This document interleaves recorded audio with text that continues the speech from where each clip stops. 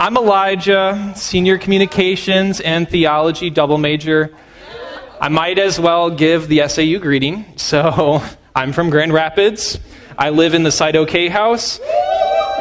Come on, and I'm not exactly sure still what God holds in store for me after college.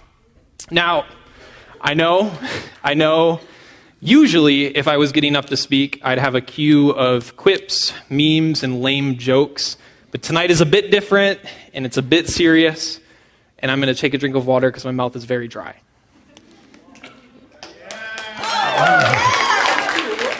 Okay. Anyway, we're going to get right into it. God, sexuality, the church. They're all big topics. I hope tonight to let you walk alongside me for a bit of my story as we explore them. I implore you to listen. As the writer Gregory Coles said, let's make promises to each other. I promise to tell you my story, the whole story.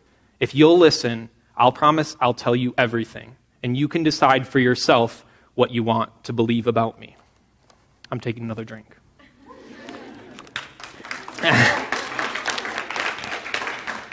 In 2012, like seven years ago, my dad sat me down to have one of those super awkward porn talks where he wanted to impress onto me the importance of respect in my thoughts towards women. The conversation was tense, and eventually I burst out sobbing. In between gasps for air, I finally said what I'd been thinking about for a long time. It doesn't even matter. I'm not attracted to girls, I'm only attracted to guys. And with that sentence, as a conservative Christian freshman in high school, I verbally, verbally acknowledged something for the first time I had only ever been attracted to guys.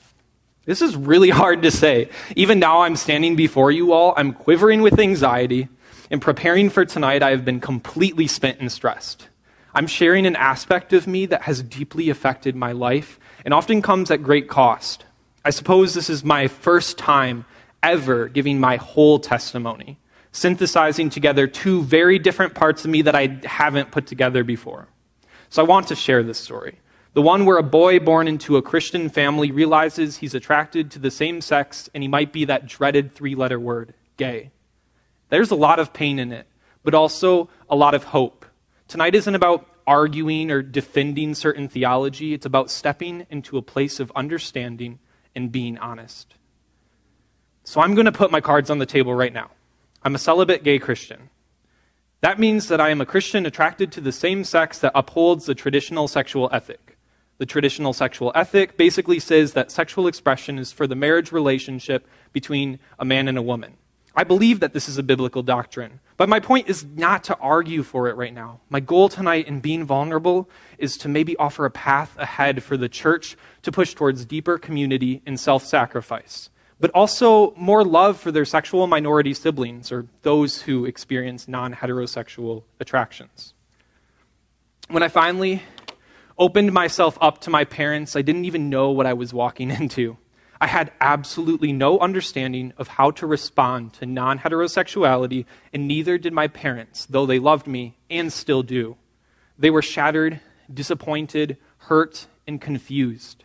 I was ashamed, guilty, and scared. They thought maybe it would pass like a phase.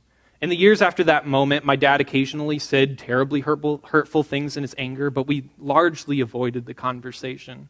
I tried to figure out everything on my own through high school, or at least what felt like was on my own. In high school, I wasn't new per se to all of this, but I hadn't acknowledged it before. I remember in sixth grade being distinctly attracted to another boy during sixth grade camp. He asked the cabin if anyone could loan him a shirt, and I let him borrow one of mine, but he never gave it back. I know I was lusting in junior high, and as sinful hormonal boys sometimes do,